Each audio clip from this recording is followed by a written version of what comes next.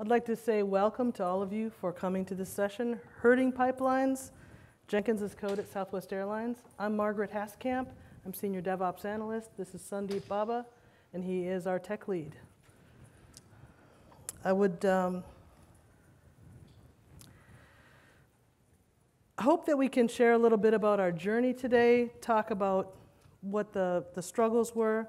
First off, I want to talk about the journey of Southwest, Southwest Airlines. And I think what's really struck me about the DevOps journey is it's kind of been a, a picture of what happened with Southwest. Uh, when I started uh, 20 years ago, we had half as many cities that we fly to as we do today. So tremendous growth and all of the pain that goes with growth.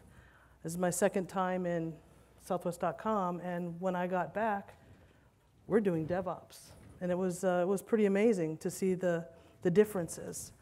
Um, what we're going to talk about today is just kind of go over what our problems were, what our solution was, and then Sundeep is going to go through a demo and kind of walk through that step by step, what it looks like for how we automated the Jenkins master and how we automated creation of the jobs. So the problem. How many of you have problems in DevOps right now? Just, just a couple. Uh, fortunately, we're bringing solutions too. So we have now hundreds of developers that we're supporting. There was an increasing demand for creating job after job, and you know, you look at your Jenkins one day, and I, like that's over a thousand jobs, you know, and hundreds and hundreds of active jobs. When you start getting into that level of of need for automation, you really have to bring some solutions. But at the same time, it's like trying to change the tires on the car while it's going down the road, right? So all of those challenges.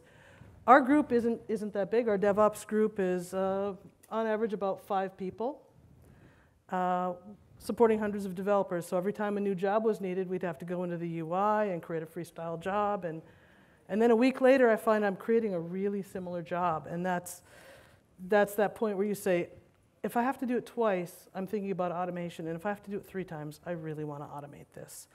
Um, we found that there were similar kinds of jobs um, that fell into some major categories. So we found ourselves doing the same thing over and over again. And also, as we looked at the complexity in our Jenkins environment, you're like, what if that goes down, do I really feel really, really strong about my recovery process? How hard is that going to be to bring that up and make sure that I have every plugin right and I don't get the wrong version and I have the configuration right and my variables are going to be right? It, it's a little scary, right? I'm probably not the only one who felt that way, and I know Sundeep isn't either. So, our solution, in a nutshell, automate creation of the Jenkins, automate creation of the jobs. And I'm not going to talk too much about that because uh, our tech lead Sundeep is going to go into more detail about that. But basically, what we started to realize is the same thing that we do for our developers, which is provide CI. We need to, to use that same process for ourselves and CI for CI. Sundeep, can you talk a little bit more about uh, why that's important for the developers. I mean, enough about us and our team. Why is that impactful for the developers? Yeah, sure. Uh, hello, Jenkins World. Uh, so, as a developer, I want to concentrate more on writing my code and uh, be less dependent on other teams. Like, let's say I need a new job, I need to go create a ticket for another team um, and wait for them to complete it. So how good would it be if I uh, have the job configuration codified and the Jenkins configuration is available inside the source code repository, version controlled and peer reviewed. You know, often when you configure a job, you do it by yourself, you go to configuration, edit it and save it, and it is often error prone, right? So what if it is there in the repository and then you create a pull request and you peer reviewed it. And then uh, global shared libraries. So how many times you write the same Gradle W build command? If you have 100 jobs, you write the same command 100, 100 number of times, right? So what if I have a way to uh, to use it as a shared library wherein I can write the command only just once and can reuse it. And then uh, what if I can automate the creation of jobs? Let's say I have 500 jobs and my Jenkins server is down. And uh, I have to bring it, up, bring it back up and running. And what is the best way to do it? So what if I automate the creation of jobs itself, uh, again, using Groovy and be version control it, so that when my Jenkins comes up, the configuration, the plugins, and the jobs are up and available for me to use it. And Jenkins master deployment. So how easy is it to get your Jenkins back up and running with the same configuration, same plugins, and with the same number of jobs? Uh, so we have used the advantage of using Docker here. So we have used a base Jenkins Docker image. And then on top of it, we have wrote automation uh, on how do you install plugins inside the container and how do you uh, configure, configure things like credentials, the EC2 cloud, so on and so forth. So I'm going to show you in my demo how we have used Docker image and built some automation on top of it and step by step going through the entire process. So over long talks, every time there was a problem, pretty much, we came up with a lot of ideas for how this, how this should look as we took this journey toward automation. The thing is, you have to sell it, right? We all have leaders, and you're like, I have this great idea. It's going to take um, a few months. Uh, what would it be okay if? So you start having these conversations with leaders, and leaders care about basically three things primarily when you start to talk about projects and cost and resources. You know, what are you going to get for it? We're going to get more speed, we're going to get more consistency, and that's where the quality comes in. And it's going to cost less. We're going to be fully automated, hopefully, with the jobs running faster. We're able to spin down those EC2 instances and, and not use as much uh, AWS time. And we all know that the meter's running when you've got your AWS running, right? So uh, for those of you that are in there now, and, e- and even if you're not, the important thing is to know that you're not using any more resources than you really need to use for that. So all of the things in that area weren't under our control, but we knew for sure that this part was under our control, and if we could automate this, automate our Jenkins and automate the job creation, this area that we did have control over could really have some, some real performance gains, increase the consistency and quality, and lower our costs. So I'm going to talk about talk more on how we use shared libraries. So how many of you use pipelines today? How many use shared libraries? Right. Okay. Good amount. So uh, shared library is basically uh, chunks of reusable code. So you can store it inside a repository, and basically you can reuse it in, in over and over on number of jobs. So why shared library? Creating your DSL will bring consistency. So if you have uh, some configuration or some commands written inside a shared library, so you're confident that how, how many ever jobs you create out of that, they all behave the same way. One of the problems with freestyle jobs is like you create one job today and tomorrow you just modify it and it behaves differently. So here there is no chance of you going inside and manually editing any configurations. Everything is written as a code and it is stored inside a shared library and don't repeat yourself, right? So when you write the scripts and when you write a command for the second time, you're repeating yourself. So why not use uh, a Groovy script to do the same? And then improve the scalability. How easy is it to scale the number of jobs you have? Let's say you have 100 jobs today and you have a new project, and I got a task wherein I have to create some 50 more jobs. So how easy is it? Uh, because I have my shared library ready, I just create a Jenkins file and then call all the shared libraries I want and my job is ready. It is just like whether it is one job, 50 jobs, or 100 jobs. And by using shared libraries, you can also skip the Groovy sandbox. Here is a structure of shared libraries. So a library has, it can be different. So this is how we have implemented it. So it basically consists of three main folders, source, vars, and resources. The source folder is where you write all your job configuration, your classes, and your methods. And then vars is where you store all the reusable code, like the Gradle commands, the Maven commands, and whatever the tests you run. So you store all of them inside the vars. And then resources is where you can uh, define your environments. So let's say you have a QA environment and you run a different Jenkins for that. And it needs entirely a different configuration and different set of jobs. So I can write all of that configuration inside a JSON file. And when I'm running my seed job, which creates other jobs, it goes through all the resources and it'll create that environment for me painlessly and securely. So let's talk a little bit on freestyle jobs and I'll talk more on how we can solve it using Jenkins as a code, right? So creating the jobs using UI is labor intensive. So developers often depending on Jenkins teams or you have a set of developers who are Jenkins experts, developer creates a ticket and you do it. And what if the number of jobs are growing? Like managing them will be very difficult because uh, it is tedious and time demanding. What if there are two, three projects which started up the same time and they all need several tens of jobs? So it's time consuming, right? And then manually updating the job. So we have we went through this pain wherein we used to use all Maven jobs, all Maven in our Jenkins builds, and we want to uh, convert into Gradle. So we let's say we have around 600 jobs, so we have to go through each job, and then change all the configuration manually, and it's a pain. And then lack of powerful and easy ways to specify deployment flow through code. So you, you don't have any, any process, you, you just have to do everything manually through UI. And backup and disaster recovery methods. So if you have a freestyle job setup and your Jenkins is down, so you are very much dependent on your backup, right? So that's where you store all your config.xml files, your job configuration, your plugins, including the versions and all that stuff. So in, in the event of a disaster, if you don't have a proper backup mechanism, it is very hard to bring Jenkins server up and running. So Jenkins Job DSL plugin solves that problem.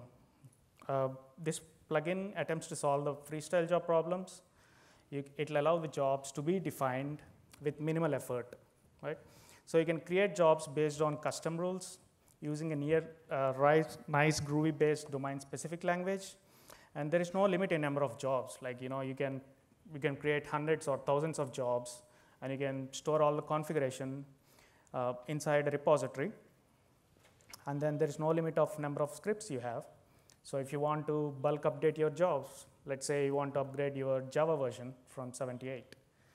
So you can just go into a shared library and you can update the particular var file and you can all the jobs are upgraded on fly you need not do anything going inside the job configuration at all and then you can also use external libraries and define common structures for the jobs to be managed like i said before all the common code lies on a central uh, shared library uh, in this slide we are, i want to talk about how we deploy the jenkins master itself how do, how do you take the advantage of Docker to effortlessly spin up a new Jenkins master? Um, how do you install plugins, right? So you go in a traditional freestyle setup, you go inside the configuration, you choose the plugin you want, and you just upgrade it. So what if you want to uh, update a plugin? So you, you stand up another Jenkins all manually again, or using a thin backup, and you can bring up your Jenkins server with that configuration. Uh, here, we have created a Docker image which will read through the plugins.txt file, which will have the list of plugins to be installed along with the versions of the plugin. And then we have another folder which will have bunch of init scripts. That scripts can do things like configuring the Jenkins, uh, creating the credentials, configuring EC2 Cloud, and then whatnot whatever configuration you want to define in your Jenkins, you can write it as a code in a Groovy based DSL. And then you can place all the scripts in that folder. And then at the time of uh, Docker image startup, you can call all those scripts to be copied inside your settings file. Some examples are configuring LDAP. So you can configure all your LDAP uh, using a Groovy file, and then you can configure your matrix auth uh, about the, all the security for your users, and then you can also configure EC2 cloud. So you may wonder how are we managing secrets, right?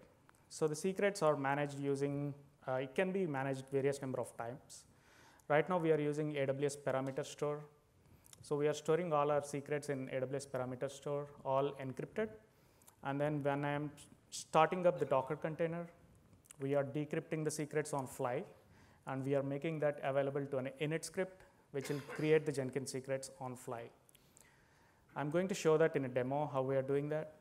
So the Docker image is configured in a way such that when a Jenkins server starts up, it'll have all the configuration, all the plugins, uh, and then the pipeline, and even the jobs as well. So when, when the Jenkins server comes up, you'll have everything available to just go and run your job. And in the demo, I'll show you how to define the Jenkins global configuration, define environment variables, how do you configure LDAP, how do you get secrets from parameter store and then pass on to your uh, Jenkins init script, install the plugins needed, and then configure a seed job which will read through all your Groovy scripts and create bunch of other jobs. And programmatic job permissions. So if you're using pipelines, you, you might have faced this, right? So how are you able to control the deployments to production? Now Jenkins has become so much powerful that uh, you can use a single pipeline to, to move your artifact right from, right from the code all the way until the production, right? So you have to make sure that you have a suitable security in place. So Jenkins has a plugin called role-based authorization strategy. So using this plugin, uh, you can control things like uh, in between a stage before you deploy into production. So you can, uh, you can set a message or you can, you can even send an email to one of the approvers saying, hey, it is waiting for your approval. When they push the button, the artifacts can be deployed into the production effortlessly. So using this strategy, you can create global roles such as admin, which who can do anything and everything, and just the job creator. So let's say you have a DevOps team and they're just for creating the jobs. They, they don't do any deployments. You can create that. And an anonymous role which will just have read permission for all the jobs. And then you can also uh, configure roles on the slave and also for the SCM permissions. So if you create a project role, it will allow to set only job and run permissions on a project basis. You can also create slave roles, which will allow to set permissions on the slave. And then you can assign that role to the users. So you have an admin role and you have set of, set of users in it and you have a deployer role. So when I'm at that step wherein I have to deploy into production, all the users in the deploy role will receive an email with the job link. They can just click on the link, click on approve, and then the artifacts can be deployed into production. CI for CI. And that's, and that's really what we're talking about here, right? Yeah. We're talking about using the process that we know so well to make our life easier. It's, the example I'd like to give is the shoemaker's children don't have any shoes, right? We need to make sure that we're using this process and using it for ourselves. So we put Jenkins inside Jenkins to deploy Jenkins. That somehow that just feels really cool, doesn't it? I mean, it, it's it's it's the solution that uh, we needed and solved a lot of our problems. And so, uh, not only that, but if you want to test something, you want to test new plugins, you have an easy way to stand your Jenkins up in a test environment, stand it up, try things out. Oh, yeah, that's not going to work. Really safe way, really easy way, take it offline and, and, and have that uh, CI for CI. Uh, so I think that I think you will find if you adopt this method that it's just going to make your life a lot easier. Yes, there's some work to get through to set up your Jenkins and to set up your shared libraries, but I think Sundeep can attest to it, it being a really worthwhile venture. And honestly, for the time savings, uh, we're already just about ready to break even. Yes, we are. So previously, when we want to install uh, or upgrade a plugin, so you cannot directly do that on a production Jenkins, right? And it is very painful to bring up another Jenkins with all the same configuration.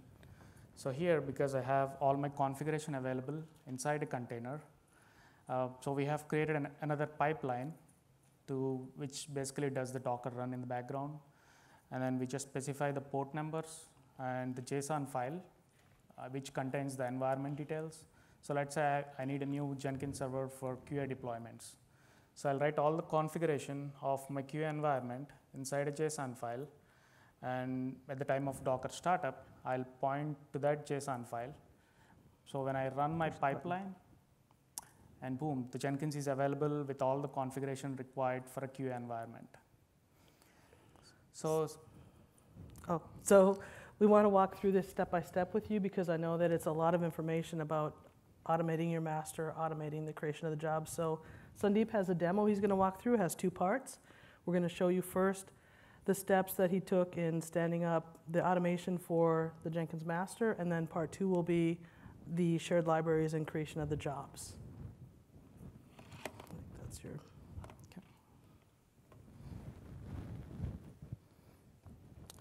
So this is kind of a hello world demo, and uh, uh, I'll show you how to uh, configure Jenkins, how, to, how do you specify the plugins inside your repository, and then how to create a pipeline using a seed job using Jenkins DSL plugin, and I'll walk you through the various stages of our pipeline.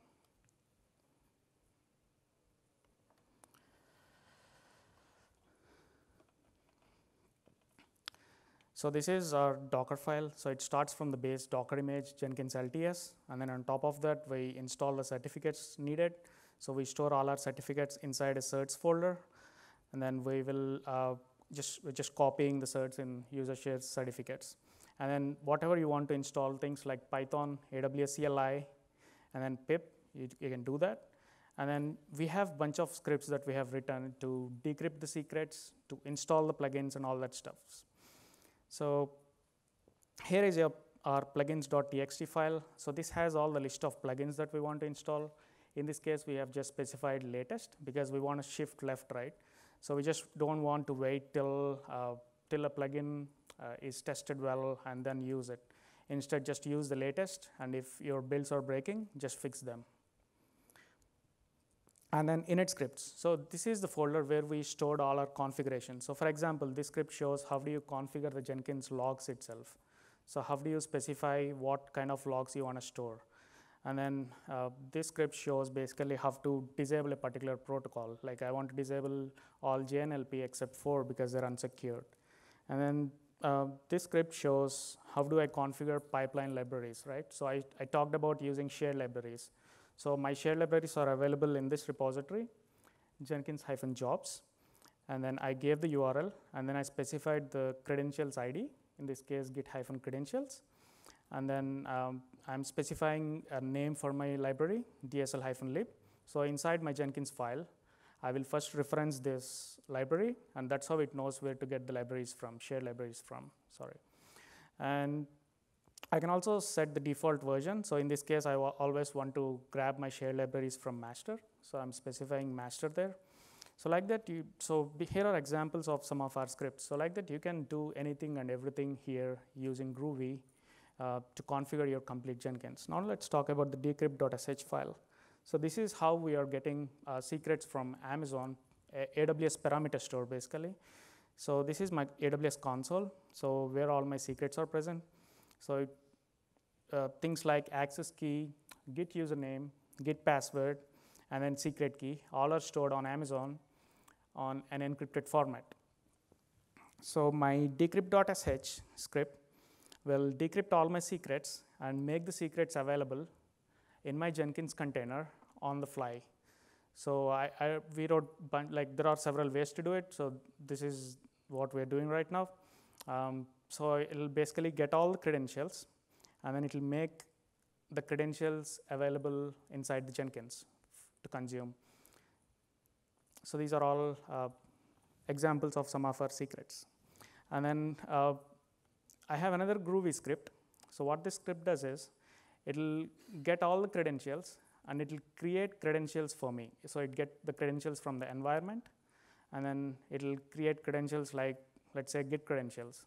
So it'll grab those credentials and store Git username and password for me. And then AWS credentials. So it'll get the AWS access key, AWS secret key, and then create another credentials. And each credential will have a credentials ID, right? So my ID here is AWS hyphen credentials. Similarly, for EC2, uh, we also, like if you're configuring EC2 cloud, you need a key to connect your EC2 slaves, right? So that's why we are also importing an EC2 key, which will help you to import the credentials. So in this case, our uh, Jenkins is in my laptop, but in let's say if your Jenkins is in AWS, you can take advantage of using IAM roles. So you can use IAM role to let your Jenkins slave uh, talk to any other AWS services, right from getting the secrets to uh, running the builds, creating the slaves, or deploying the artifacts.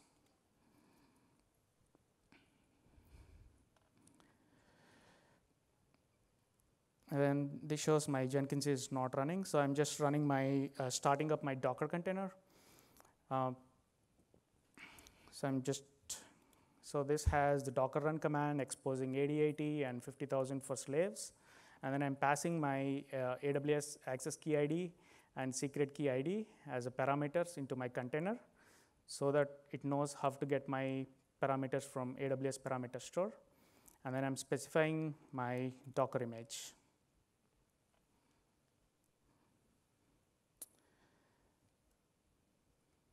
So my container is up and running here, and it is available on port 8080.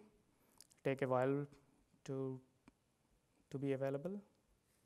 And let's go back and talk about how we create the jobs, right? So we have, uh, so in this, jobs can be created various ways, but our goal is to, uh, is to make a job available which will create all other jobs. I don't want even to log into Jenkins and create even a single job. I want that to be automated too. So we have posted the config.xml file um, into this Groovy script.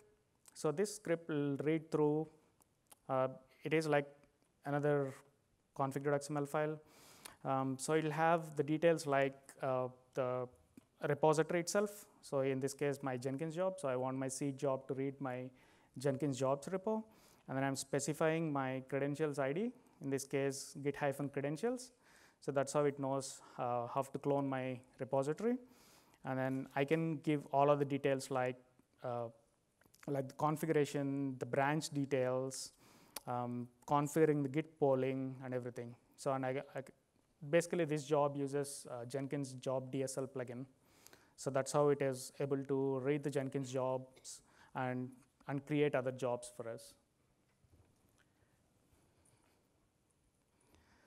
Then uh, yeah, so showing that we can choose the credentials we want, like let's say you have various different credentials, so you can give a credentials ID and you can call it with that credentials. So using this Groovy script, uh, when my Jenkins starts up, it'll create a seed job for me and it'll read through this source main jobs folder, which will have details of all my Jenkins jobs. So you can create like, you can create a Groovy file for each job or you can all you can also combine all of your jobs into a single file, uh, which will create other files. So my Jenkins is about to start. Okay, so because I have created a user, a local user here in this case, so we can script through the initial console because I have installed all my plugins as a code and just click on, you can also even skip this step. So now my Jenkins is up and running with all the configuration with all the plugins, and it has created this seed job. It just ran now, and then um, it read through all my Groovy files, and it created all other jobs for me. So when my seed job runs, it can create folders, it can create views, so you can configure however you want. Like let's say you, have, you want five views and you want to configure uh, like five, five number of jobs in each view, so you can do that too. So now it created two folders in this case. One is Jenkins pipelines and Maven pipelines. These two are folders. And basically these are multi-branch pipelines. So if I go inside uh, Maven pipelines, um, it'll have uh, it'll have nothing basically. So it haven't scanned my repository yet. So we can go inside and we can click on scan through the repository. It'll scan through your branches and then it'll create a job for each of your branch. So uh, when a developer uh, does a check-in, he need not even go to Jen- Jenkins console, right? So he, he just checks in the code. Um, Jenkins scans through your branch. It'll create a new job for you.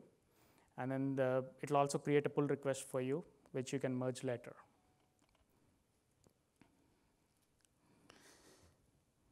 So let's talk about uh, how, how actually we created the jobs here.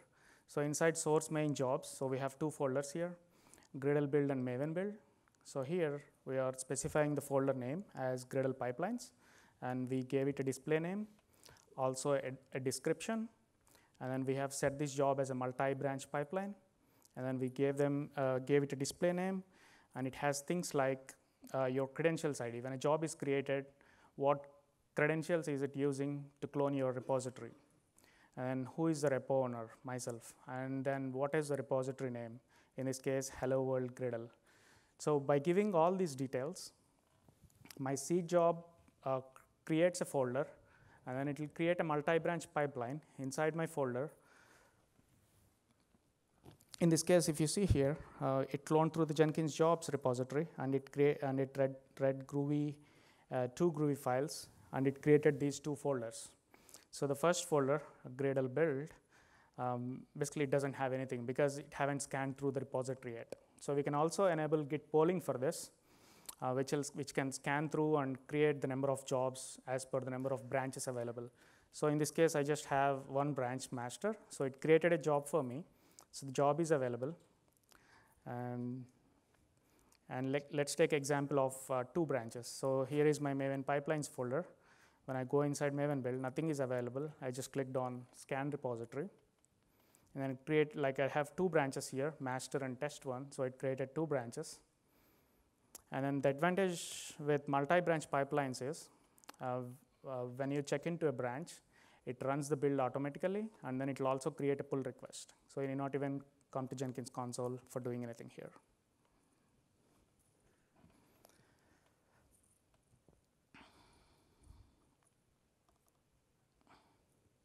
So here is my uh, uh, Gradle build. So let's, uh, so as it is running, let's go and see what's.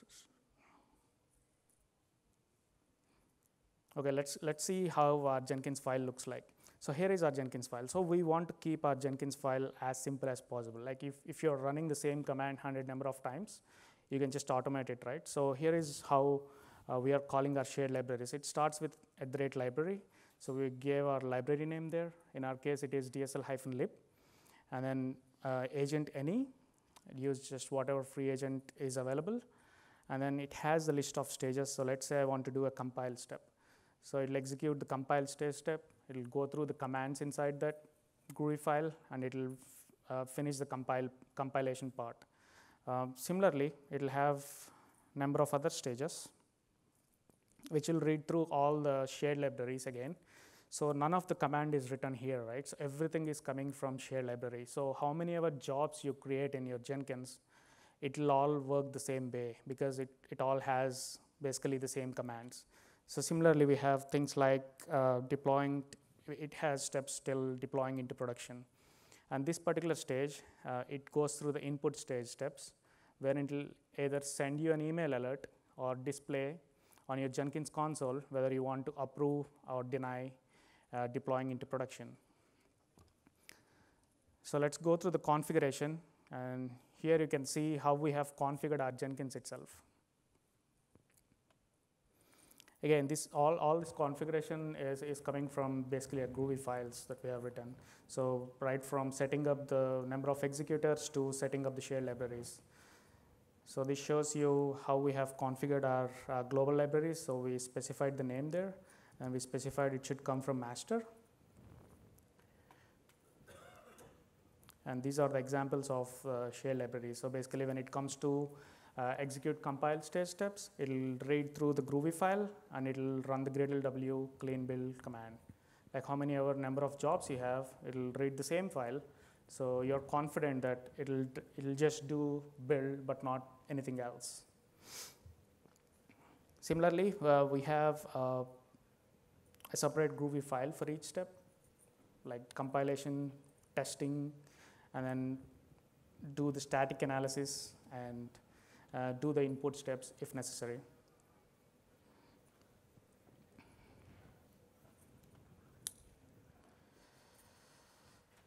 So going back to uh, the Gradle build,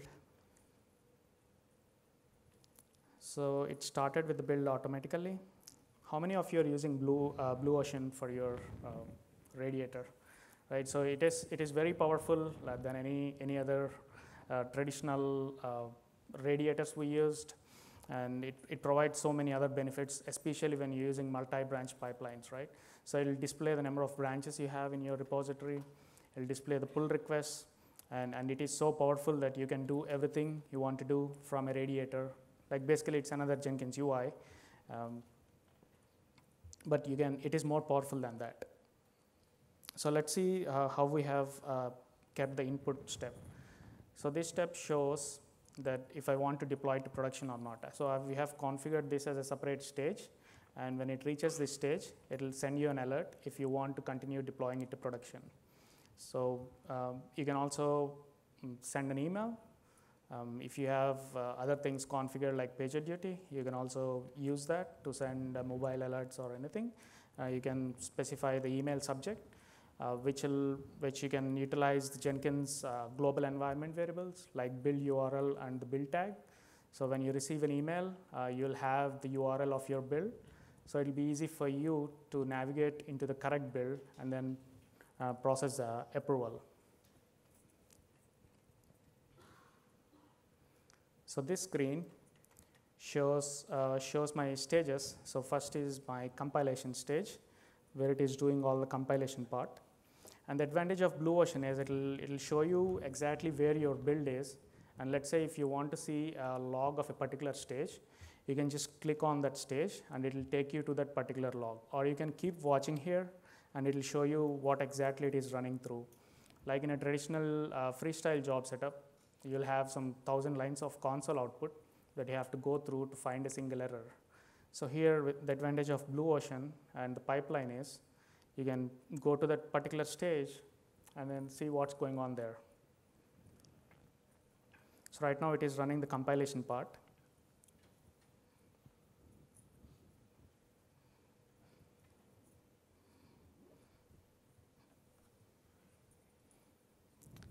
It'll, it'll, it is like a live dashboard, so it'll when it reaches the next stage, it'll automatically show you. So the compilation part is is done. Now it will go to the unit test part, and then um, wherever you wrote any input step, like if you want to proceed to the next step or approve or deny uh, a deployment into production, it'll just take you there and it'll stop there. So if you're watching Blue Ocean, it'll display a message which will have which, which shows you like do you want to proceed with the next step. So right now it is publishing artifacts and deployed into pre-production. Let's say you ran a couple of tests like functional testing there, and now it says, do you really want to deploy into production? So you can also set an email alert. I couldn't get it working this in this laptop. So it, it deployed into production. So by using the pipelines, you have a comfort of uh, seeing, uh, seeing each stage, what is happening inside it, and at the same time, you'll have, you can have control of each stage wherein you can configure a particular role such that only the users in, this, in that role uh, can perform the approval process. So you can, also, you can also click on the logs at that particular stage and you can choose, um, you can choose whatever stage you want to see and it'll show you the logs.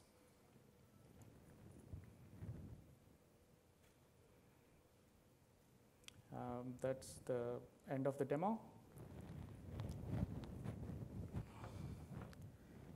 Uh, what questions you all have. Yes, sir. Um, We're looking at moving into uh, shared, using shared libraries and more sparse pipelines. Okay. And uh, the one thing which seems uh, the only downside of going away from an embedded Jenkins file in the source code report is if you make a change in the shared library, that doesn't recognize that a process has changed and it should reboot the build. Whereas if you change it within the Jenkins file that is source code resident, then it actually triggers. Have you, um, I, I think it's a reasonable trade-off, but have you, um, made any changes to actually notice that the process has changed and take the note off? Um, not really. So we're just uh, con- using the shared libraries as a separate separate piece of it, and then we're just running the rebuilding it whenever whenever we change a library. Well, and, and also keep in mind that because it's under source control, we're going to have CI for CI. So if we make a change, we can test that change. Uh, Anybody else have a question?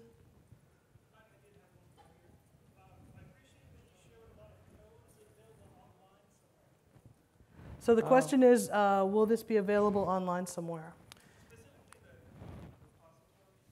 Yeah, sure. It is available in my GitHub. It is available with my name, Sundeep Bobba. So you can, you can see my name in my LinkedIn profile. Um, I'll you can connect with me in LinkedIn, and we can we can discuss more. And if you have more ideas, uh, we are happy to uh, you know share them. So please reach out to us with your questions, uh, comments, any feedback that you have, we'll be glad to share. Um, Anything that you've seen here, we'll be glad to share with you and, and start the conversation.